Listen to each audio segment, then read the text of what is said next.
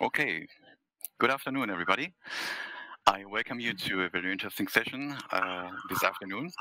We will talk about uh, a community approach to measure earthquake data. And um, this is related to the uh, Izmir earthquake this year, I believe, uh, Orkut.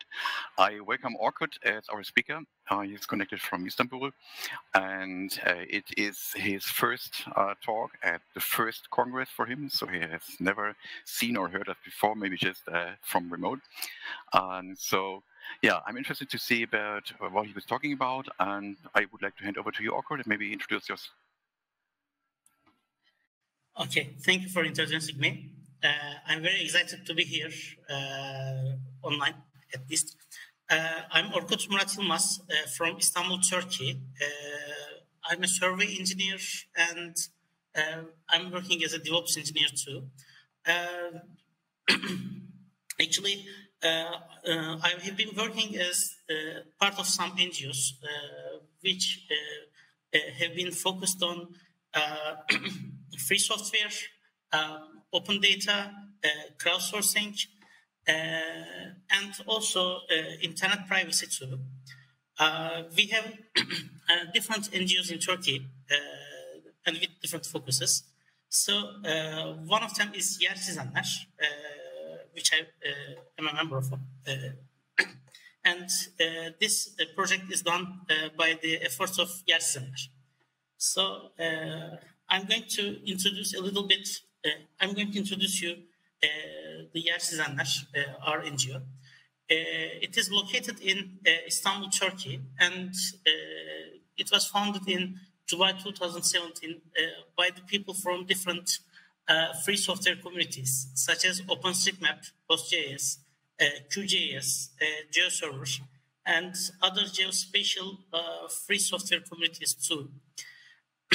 Uh, after the establishment of uh, we have worked with humanitarian OpenStreetMap team, and we have made the Bina project, it was the project for the refugees who uh, have been living in Istanbul.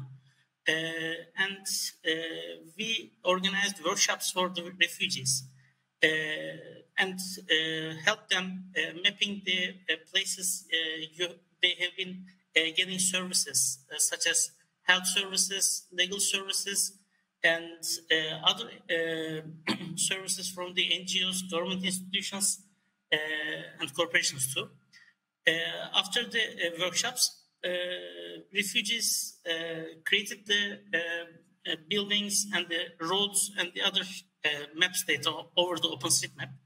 And then they did their navigation by the help of the, some free software tools in order to receive those services. After the BINA project, we have uh, done uh, some work uh, on Turkey Road Data Network Improvement project over the OpenStreetMap. Again, we have worked with humanitarian OpenStreetMap team too. on the October 30, 2002, uh, there was an uh, earthquake happened in uh, Aegean Sea, and the magnitude was reported as 6.9 and uh, and the earthquake had also caused the first uh, tsunami uh, recorded in our country. it was it was happened it happened in a, a, small town near the Aegean Sea. It, it is called Sığacık. And then the result of the earthquake was uh, 116 casualties and 1,034 injuries. So uh, this was a, a photograph of, of, a demolished building uh, after the earthquake. So um, there's a national uh, institution in Turkey. It is a Union of Chambers of uh, Turkish Engineers and Architects. Uh, from different uh, branches of engineering and architecture and uh, urban planning, people got together since the 50s and uh, they work as the uh, local uh, professional organization for the engineers and architects and urban planners. So we have contacted the uh, uh, Izmir City Co Coordination Council. It is called CCC here again. And uh, we worked with them and they have established a crowdsourced call center after the earthquake in order to organize Uh, the field work and office work. And uh, they helped uh, us doing our office work, field works, workshops, and the other data collection and data analyzing works with us. Um, when earthquake happened, we were in Istanbul, actually. I mean, me and some of my friends. And some of our members were in Izmir too. And after the earthquake happened, uh, we have learned that uh, the magnitude uh, from the uh, Kandilli Observatory and Earthquake Research Institute. Uh, the magnitude was huge, so that uh, we decided to create. we decided to give some support for the people who were affected by the earthquake. So first we have checked the uh, disaster disaster gathering zones map of Izmir and uh, there was no map of uh, disaster gathering zones. Uh, there were some spreadsheets on the National Disaster Government Agency, the website. So we have collected the data and then uh, we have created the, disaster gathering zones map uh, in an hour after the earthquake. Uh, I mean, an hour after the earthquake, our disaster gathering zones map was online and we started spreading it uh, over the social media. Uh, and then we went to Izmir, and uh, because of the all the works we have done with the humanitarian OpenStreetMap team, we have some know-how about using mobile uh, applications and mobile phones in order to gathering uh, data from the disaster areas. So we have contacted the uh, Izmir uh, City Council uh, of uh, National Chambers of Engineers. And then we go to the field and we went to disaster areas. And then we have collected the demolished buildings data first. we have collected the building type. We have collected the building architecture. We have collected the uh, is there a roof uh, level? Is there a uh, how much levels, uh, how many levels the building has, uh, and the other data as well. And after that, when we collected the data, we have published another online map over the UMAP. So uh, we have three uh, layers of the map here. Uh, one of them is fully demolished buildings right after the earthquake. And the second layer is about partially, uh, partially demolished buildings. Uh, and the third uh, layer is showing us controlled demolition of the buildings. after the earthquake, there were some damaged buildings and demolished buildings as well. And some damaged buildings were demolished by the workers and engineers and the other people there. And then uh, we have organized a meeting with the uh, Izmir City Coordination Council of uh, National Chamber of uh, Engineers. And then uh, we decided to uh, create a public forum and distribute the form to the people Uh, who were uh, affected by the earthquake. And then we started collecting the citizen data. Uh, we asked people um, uh, where is your uh, building? Uh, where have you been living? And do you have the photographs of the damage? and the city governors, city governors urban issues um, management uh, uh, did uh, or did not do a, a, damage assessment work in your building. And what was the result of the damage assessment, the official damage assessment? Do you need a do you need an urgent need? do you, do, do you have an urgent need? And do you have others uh, notes and photographs and the others uh, data as well? So more than 1,200 people uh, filled that form. Uh, and then uh, we have organized some uh, committees from the volunteers, the volunteer architects and the civil engineers. And then we created some maps of the damage assessment works. The, uh, they controlled the, each building and then they uh, made a, a, quality assurance of the uh, official damage assessment, which was done by the uh, city governors. And then um, we made different data to compare uh, uh, the official damage assessment report. And then after the collecting the uh, data from the people, uh, we have published an uh, Izmir earthquake damage heat map. we have chosen the heat map format in order to in order to not to show the private data, uh, not to show the personal data of the buildings. But uh, we uh, decided to use a heat map to show the earthquake damage all around Izmir and uh, all the data, uh, sorry, all the uh, maps we have published are still online on a Turkish website. It is called izmirdepremi.com and you can visit there. And after the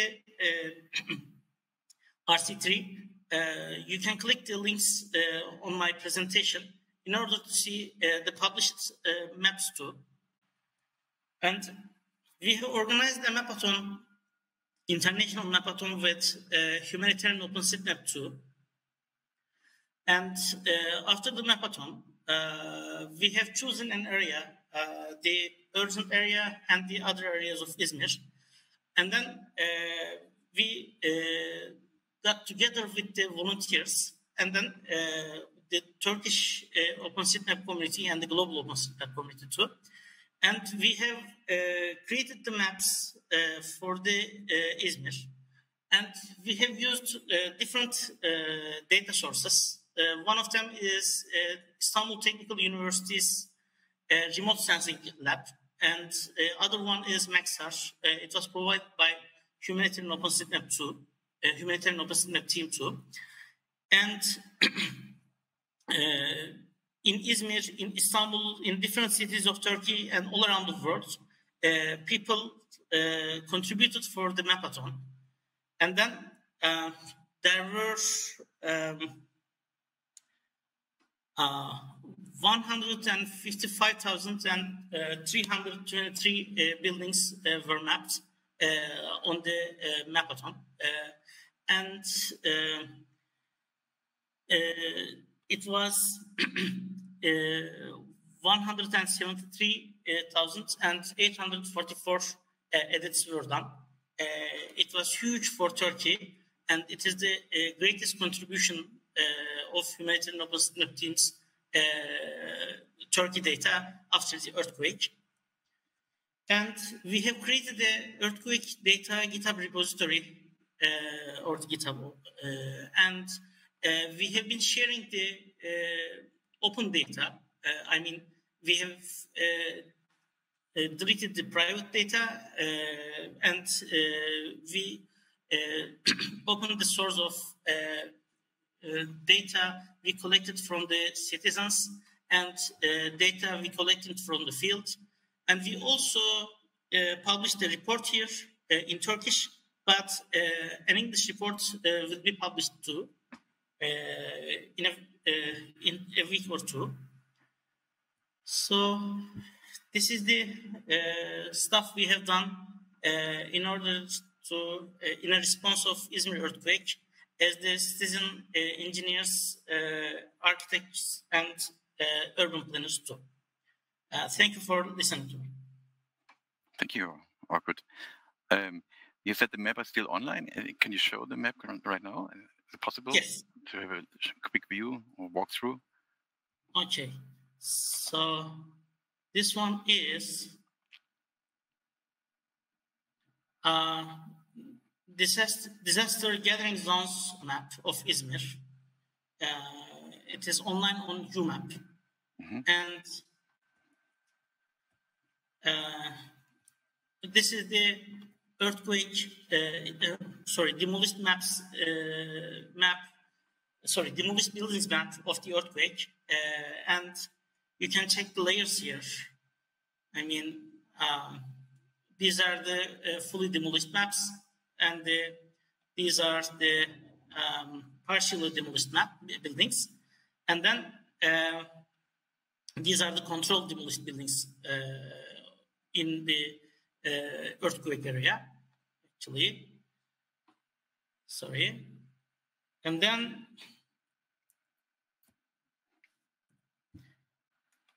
uh, this is the form uh, we have created uh, over Düşeydi. People can uh, put their name, their uh, contact details, uh, the location of their building, and exact address, the neighborhood and the street and the door number.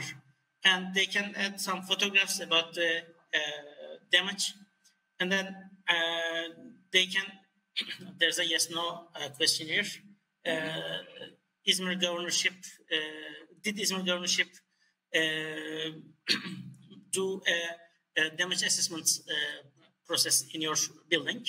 And what is the result of the uh, damage assessment test?